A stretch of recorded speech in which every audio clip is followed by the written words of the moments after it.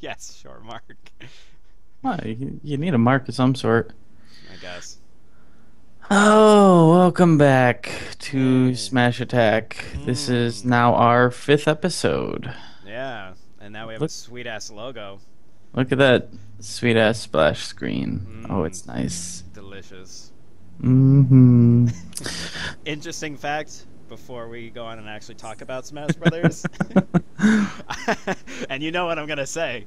hmm while I was making this fucking logo, of all of all the fonts that I thought that it was going to be some type of special font or something to make this, it's Times New fucking Roman. Times New Roman to make this goddamn font to make this logo. Yeah, so Smash Brothers 4 uses Times New Roman, which I find infinitely awesome and hilarious all at the same time. uh, My god. so I thought that was kind of interesting and funny. Yes. So, first off, I am going to remember this week. Let's go through the photos. Yes. Uh, let's see. Starting on Monday, we got a really nice, really close up shot of Olimar's suit Mhm. and the yellow Pikmin. Yep. It's amazing the level of detail that they actually are putting into this. Yeah. I mean, you can see the whistle that's embedded in his helmet. That's a first. Yeah. The thing that infuriates me, and it's not with this picture, it's with the whole photo a day thing in and of itself. The game is 1080p. So fuck it, just release a 1080p image that we can blow up and make 1080p. Yeah. For the love of God. I mean, this is just infuriating to me. I always have to squint and try to get some of the details, Right. but that gripe aside. I I think the reason why they they do that is just so that it doesn't take forever to load on their website. It's just something That could it's, a, be. it's a quick thumbnail because it is even smaller that when you when you're on their website, it's it's smaller until you actually click on it and it's like blown up, but even then it's not that much bigger. Yeah, no, it's it really isn't at all. But so Yeah, not much. I mean, detail on Olimar's suit. That's nice. Uh, Tuesdays is the Fire Emblem stage that you know we already spoke about right. last episode. It's neat. Well, we're Uh, not sure if it's Fire Emblem. It says that it's. Or, I'm sorry. Ic- It says it's Kid Icarus, but we we're assuming that it's Fire Emblem just because it. No, we're we're assuming wrong. It is Kid Icarus. Looks, no. I wish it That's- was though. I'm sure there will be Fire Emblem stages. I have no doubt. Well, because the only I just remember that the only reason why I said it was a Fire Emblem is because in uh, in Brawl it was a stage that it had similar platforming in a sense. Yeah. And the background was the same, where it was on a castle. So that's why I thought, oh shit, Fire Emblem. So who are they gonna announce next for their, you know, their Fire Emblem ro- roster? Yeah, I don't. I don't think so. I think that's definitely a, a Kid Icarus stage. Yeah. So, you know, Fire Emblem is going to be in it. It's just a matter of time. Uh, let's see. Screenshot after that, we've got the Animal Crossing villager hurling Pit's arrow back at Pit, hmm which is phenomenal. And I love that concept. Yeah, where they can take, uh, where the villager can take people's projectiles and throw them right back at them. Yeah, I mean, it seems like a better version of Game and Watch's bucket. Because how often did you ever get anyone to get the bucket filled? His down B was pull out a bucket and catch any projectile, and once you caught three of them, the bucket was filled. The next time you did it, you'd throw shit on people. Right. I, I don't think I ever managed to pull that off in a game. Yeah. This, you can at least try to catch something and hurl it back. I like that. I really like that. Yeah, it just seems less complicated and like, cause I'm sure there's not a lot of, I'm sure there's a lot of people that don't use that. hmm I mean, Of I know, course. I know you even play Game and Watch a lot or a decent amount, and uh, Fucking octopus. I never even see you use it ever. No, fuck the bucket. Yeah, because it's too, it's too much to do because you have to collect three times, and It's too situational. yeah, And if you miss, you're left exposed for so long. It takes forever to take that bucket and put it away. Well, there you go. Uh, the next one definitely looks like a Pikmin level, a new Pikmin level. hmm You got Donkey Kong hanging off what looks like a rusty sardine can. Yeah. So at least it looks like we've got a new Pikmin level, and anything Pikmin related. The fact that I think it takes place on a post wasteland Earth is phenomenal, Right. and I'm I'm just very excited for any of the Pikmin levels. Oh, excuse me. Yeah. Um, it, it's not much to really tell with this level because it's so it's such a close-up shot that's not far Yeah. away, so you can't really, you know, you don't know whether if that that platform's going to be mu- moving or if it's going to be like dropping down from the top of the screen and then eventually going away or whatever. It looks it's it definitely looks like it's moving in some way, shape, or form. Yeah. We just don't know what. And that brings us to Fridays, quite possibly one of the most confusing screenshots I've ever seen. but reading into it, it makes a lot more sense. So basically, you've got Link and Samus streaking off into the clouds. Yep. So this is the new launch effect. hmm The color of the streak will correspond to the player who has hit them. So, as in every Smash, like the first player is always red, then there's red, yellow, blue, green. I forget who is what color. I just know first player is always red. So basically, you launch someone, you will know who's going to get the kill before they die, should they die. Oh, okay. Unlike all the other games where it's just um, wait until they die and then you'll figure it out. Yeah.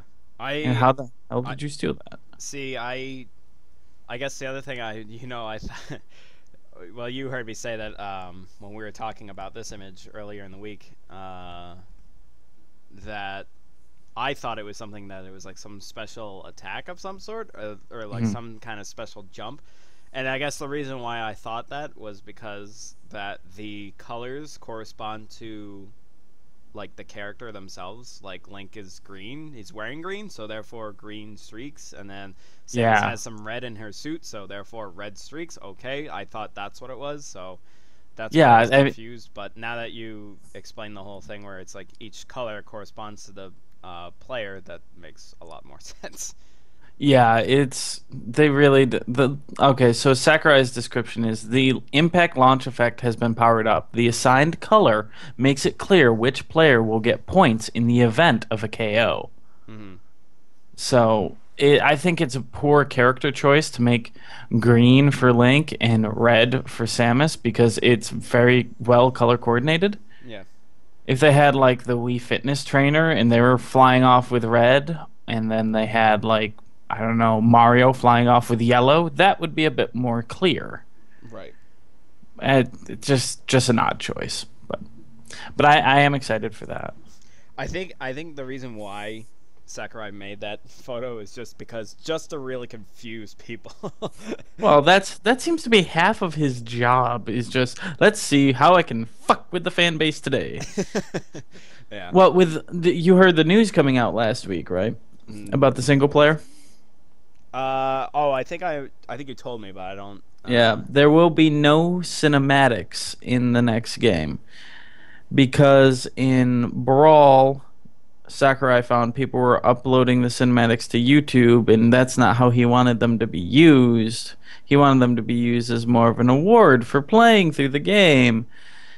And so he's decided to it's it's kind of confusing because of the translation. He's either decided to nix cinematics entirely or a single player adventure entirely. I'm not sure which is which. mhm. But regardless, something as big and bulky as the subspace emissary, as much as I would love to see it come back, if it doesn't, it doesn't. If Yeah. they go back to like the classic story and adventure from from Melee, Yeah. the Melee adventure was uh, tons of fun. I really liked it. hmm It was no subspace emissary. Yeah. I I think I like Subspace Emissary just because it had it it gave a reason for all the characters to be there. Like there was one big issue that was going on.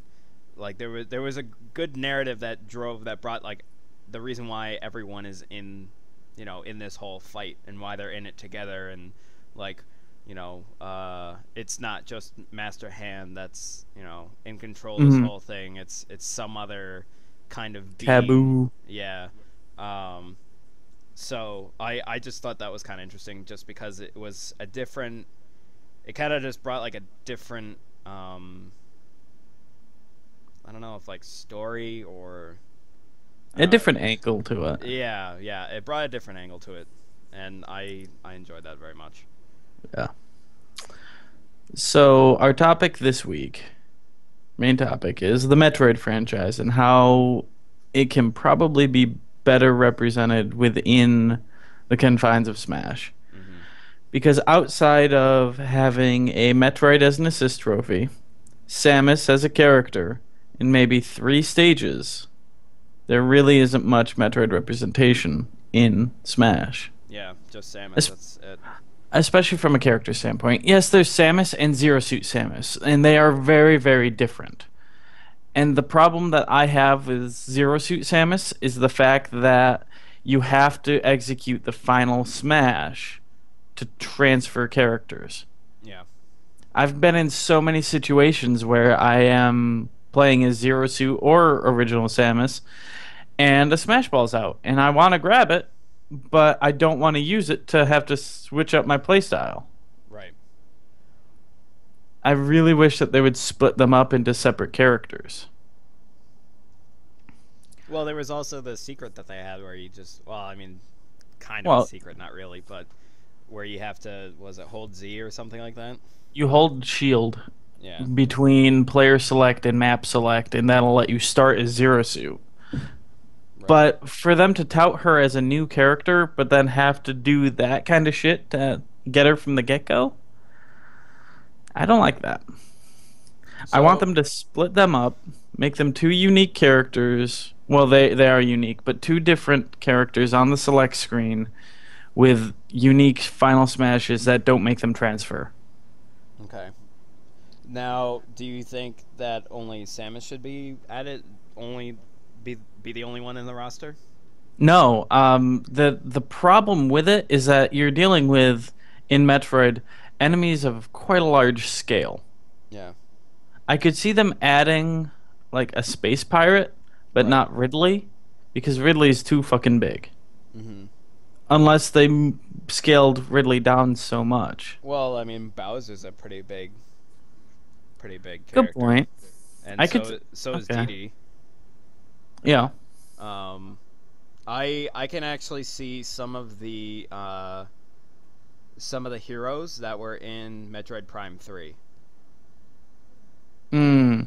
I could see I could see them being because each of them each of them had their own unique ability and things like that, and I th- I could see them being as individual characters as well.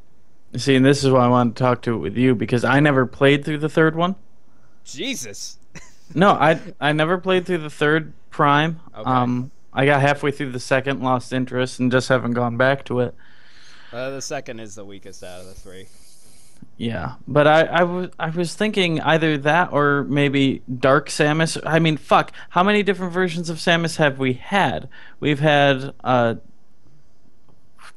The corruption, what is it? The corruption, uh, Samus. The which is- corrupted, the corrupted Samus we've had in uh, Zero Mission, not Zero Mission, fusion. uh, Fusion. Thank you. We had Fusion Suit Samus. hmm We had the what, whatever the fuck that parasite was version of Samus. You have all these different iterations of her. The problem with that is that they would be clone characters. Yeah. I would like to see them all as suits, and they kind of did do that for Brawl with a couple of the suits. hmm Well, I could see the um, cause the corruption suit Samus, uh, she the cor- mm, I said corruption suit Samus because it's not Samus. It's just it's Metroid Prime, just as uh, Yeah. and just looks like Samus, um, cause she had or it had like similar features, like as far as attacking, but like Yeah. I don't know, there were there were certain things that it could do that were that was different. Um, So you'd be you'd be looking at something along the lines of say Mario and Luigi differences, yeah, where like the same core is there, but the special attacks are different enough so that they are completely unique. yeah, I could definitely see like maybe if uh, if they had corruption, uh, if they had met met, I think it would just be called like Metroid Prime Samus or something like that because, uh, I because that's what they call it or whatever because it, it that's just what it says above the name at least from what I Mhm. remember from playing uh, Metroid Prime Three like years ago. It's been a while, but I definitely want to play that again. Um, because it it's it is Metroid Prime, so I could kind of see like the final Smash being something where it'd be similar to something like Samus's Final Smash, where she does the big fucking blast, but instead of maybe f- just like knocking him off stage, it does like consistent corrosive damage like over time.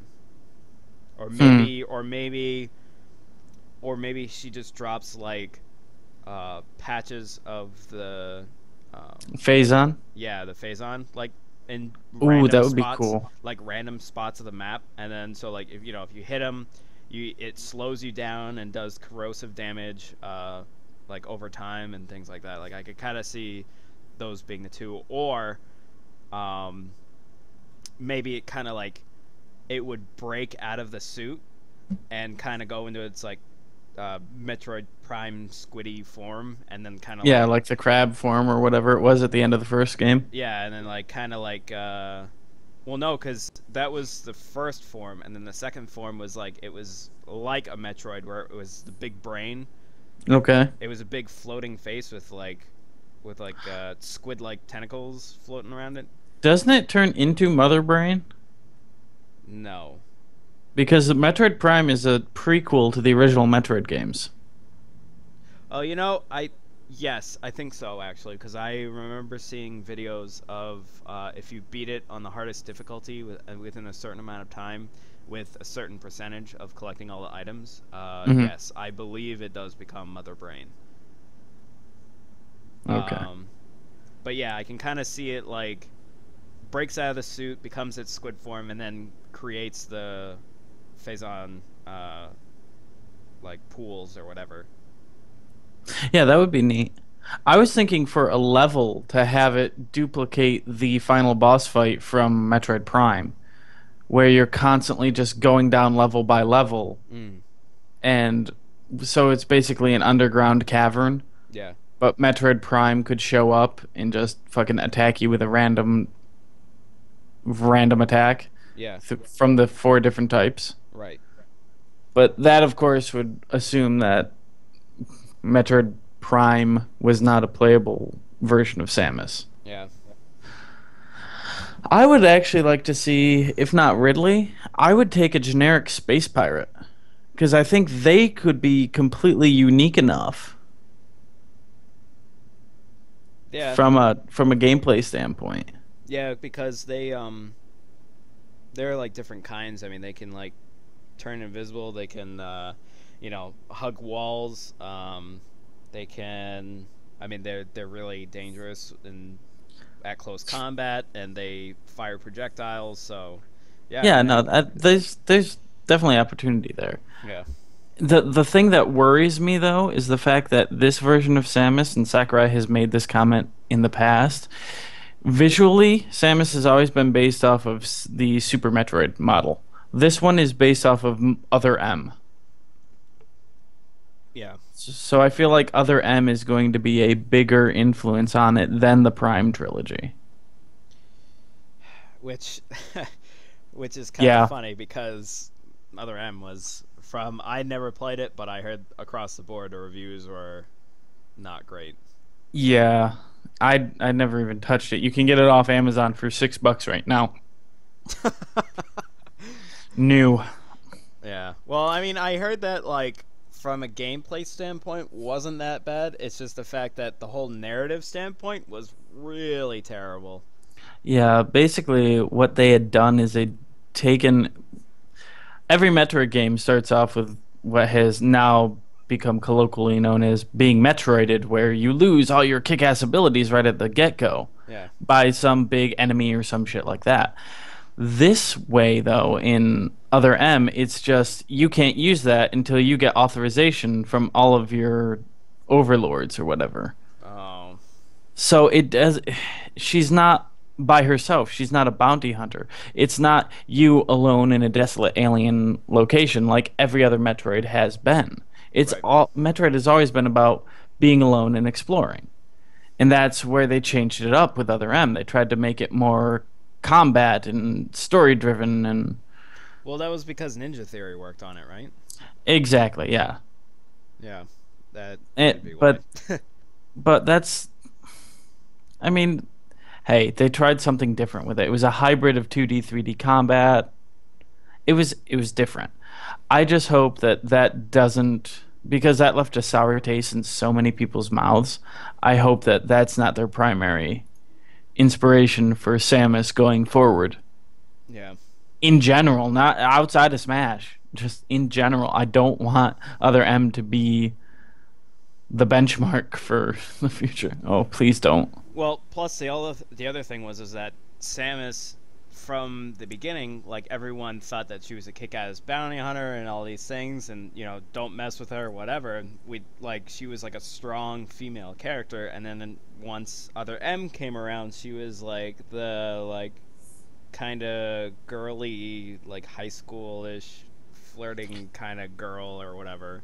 Yeah, that's not Samus. Yeah, which it just like brought her down a couple of pegs of badassery, so it's kind of disappointing.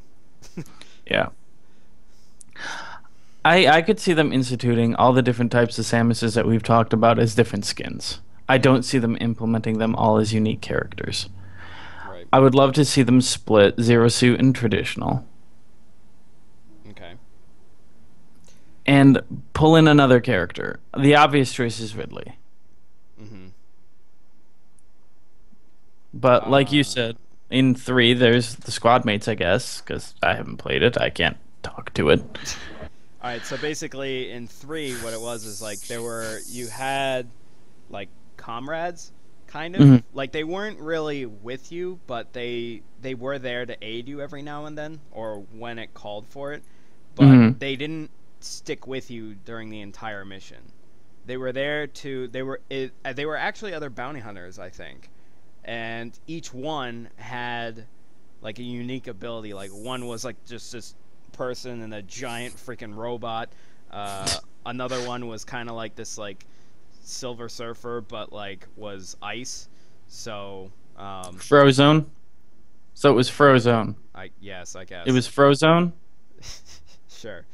Sounds like it was Frozone. Um, I I think it I think it was ice. I think that's what it was. Um, Then, then it's Frozone. I don't know. And then there were there were some other ones too. But yeah, I could see like the other bounty hunters that were in Metroid Prime Three. I could see them being characters because each of them were unique in their own way and they had different abilities. So I could see them being like different fight styles and and whatnot. See, and and that's that's what I love about Smash is that they can pull those characters in, and I've never played those games, and that'll make me go, "Oh, what the fuck is that?" That's the reason why I've played all the Metal Gears. Mm. It's because of Smash. So please, please do that. Bring those other characters in. I I think they'd be perfect the way you're describing them. Yeah. At least as assist trophies. Any of these characters would be fantastic as assist trophies. Yeah. A Space, Metroid Prime. Space Pirates. Oh God, it'd be great to call in a fucking space pirate squadron. Yeah. Ridley. Oh God. Yeah. No, they could they could probably do Ridley. Yeah, they they could definitely pull off Ridley.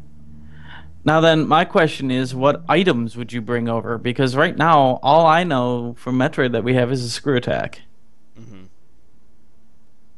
Which is Um, not what it sounds like if you haven't played Metroid. uh. Oh man, I'm trying to think. Uh, I could see. I could see it more as a as a smash attack, but that's it's already established as to what smash attack Samus has. Um, I I would like to see Hyper Beam because Hyper Beam was in Super Metroid and it was actually also in uh, in some of the Metroid Primes actually as well. Um, Okay. It was in there. It was if you remember in the um, in the very first Metroid Prime when you're Mhm. fighting against Metroid Prime and then when she when it like makes the pools of uh, Phazon and you get Yeah. if you you go there's a certain point where like you hurt it and you damage it but if you go like go walk into the Phazon like your cannon becomes completely different and you just fucking fire it and it just shoots this like Yeah. beam like right out of it that's the hyper beam so I could see hyper beam being used in there but again it's they've kind of already established what the final smash attack is so it, Yeah, I don't think you could do much in way of items. I think Yeah. basically screw attack, maybe an energy tank for health, mhm. but but that's about it. What I would actually like to see is a level based off of her ship. Her ship has not been featured in a Smash, and it fucking needs to be. Well, her ship is kind of small. Like, I mean, maybe if it's like the outside of it, yeah. Like, I Yeah, mean, th- th- no, that's that's my thought. Is that you would be fighting outside of it, mhm. and it would be traveling from planet to planet. yeah, So you would touch down, and all of a sudden you'd be on Tallon fo- Tallon Four, oh, oh my and then it then it get ready to take off, and then you'd land on another planet from the series, right. or you'd land on any of the space stations. Like if it were a Metroid tour, hmm that would be a fucking phenomenal level. Make it happen. Um, yeah, no, they they can definitely do uh, going to different planets over time because that was something that was that was really I thought was really cool in uh, Metroid Prime Three because you could go into the ship, like it went. You can go into it and then it Yeah. would be like a first person perspective, and then you could like choose like which planets you want to go to, and I can totally see that being being integrated in there. Yeah, th- I that would be phenomenal because you haven't seen her ship in Brawl other than a trophy. Yeah. And it's just wasted potential there. There's a lot more that they can do to capitalize on Metroid, not necessarily I think from an assist trophy or even a character perspective. Even though I would like to see more, hmm given that they do have the limited roster, I don't see many of these characters going in. Fuck, I think we'd be lucky if they split up Zero Suit and regular Samus. I could see um, I could see more levels that are uh, Mhm. That are kind of like based off of the Metroid Prime series, like much like how Brawl did it, uh, where it was the uh, the Queen Frigate Parasite. Orpheon. Yeah, like the Queen Parasite room. Um, but I think I kind of want to see some where it's like Super Metroid. I mean, I know they're trying to push other M like as as the Yeah. Metroid that they're trying to go for for this one, but I kind of want to see some some like you know old school levels of like either Metroid or or Super Metroid. That's that's where the uh, Samus's ship tour would work perfectly. You could have it touch down in the landing spot for every game. Yeah. You could land in the where where was it Omega? I don't remember Uh, the name of the planet of Super Metroid. Uh, Planet Zebes. Oh, okay, Zebes. Fuck, I'm dumb. Z B E S. Zebes. Z E B E S. There we go. That's the one. Yeah. So you could have that happen with this. You could transcend all the Metroids except for the first one because that one didn't have her chip. Right. But it, it would be really cool, and I think I think that's the best way they should do it. Is more levels. Plus, there were some rooms in uh, in Super Metroid that kind of stood out more than some of the other ones. Mhm. Like, uh, oh shit! I mean the uh, the space pirate, um, or no, not the space part. Uh, the um, the research facility that's in the beginning of Oh, yeah. Super Metroid. Oh, Fuck yeah. yeah. That could The t- totally be a fucking The mission. fucking title screen. yeah, that could totally be a level. Like, why the fuck would they not do that? fucking come on, Jesus. Yeah. What's what's really interesting is some of the other trophies in I believe it's in Melee. If you look at the the um there's a trophy of the Metroid, the the last Metroid in its tank, if you look at it super close, the reflection reflects that research facility Mm. in the trophy in Smash. Oh, okay. Yeah, they gotta include that shit. I'm sorry. Yeah. More levels, more levels. Give us more Metroid levels. I'll be happy. Yeah, because they only had they only had two in Well, Brawl. three, I think, was it three? because. Oh well, let's research. Clickety clack away. I know that they had one in uh, Melee, the one where it was uh, the one where the what was it? There were Kraid. Kraid would pop up and just slash shit. That one drove me nuts. Brinstar Depths is the one you're thinking of. Brinstar and Brinstar Depths were the two from Melee. Okay. And then in Brawl, we have. We had we had the one that was uh, where it had the lava, like the lava wave come at you, and you had to get into Um, the, the pod. Norfair. Norfair, that's the one. then- Norfair. And then the other one that we mentioned earlier, with the Parasite Queen. Yes.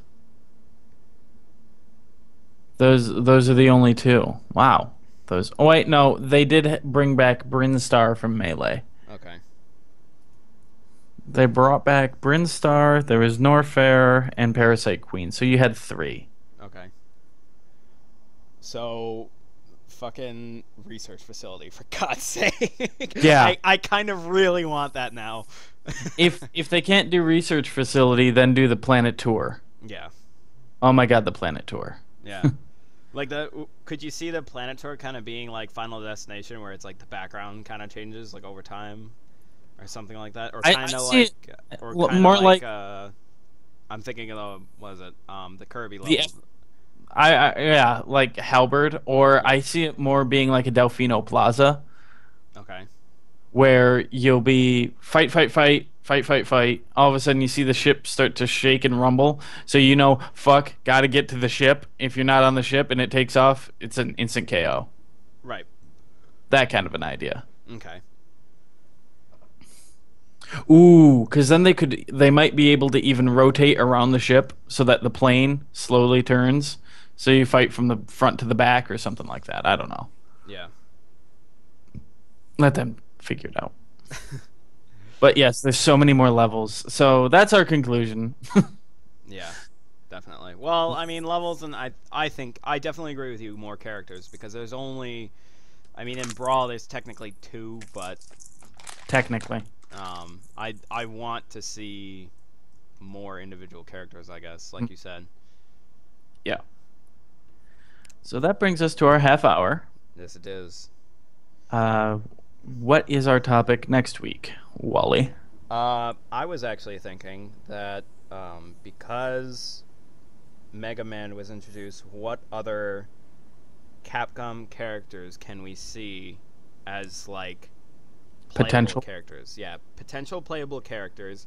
And now that Capcom's on board, like, and I know that they're trying to limit on how many characters they can have. If there's any other third-party develop, uh, third-party, yeah, I guess developers or companies that we can definitely see other characters being in it. So kind of like it's kind of a Third party characters, yeah, basically. third party characters definitely see like more like what do we want? What do we think what would work in something like Smash?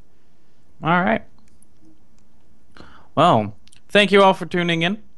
Mhm. Follow me at Daron Bell on Twitter and subscribe to us on iTunes. Yeah, that's a new thing. Yeah, iTunes. And here as well on Twitch. You can subscribe to my Twitch. And also, I am on Chris Walczyk, W A L C Z Y K.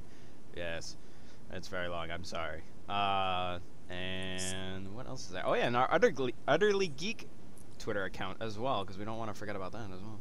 Yeah, that guy. Yeah, just find us on iTunes under Utterly Geek. That's G with threes. utterlygeek.com. Subscribe, leave a review. Yes. I'll read your name on a future episode. I won't read the review. I'll read the name. Might call you a dick if it's a low rating, but yeah. about Well, it. you know, or if people say negative things, I mean, maybe. Know, hey, it's the internet. That's true. All right. Bye. Goodbye, everybody.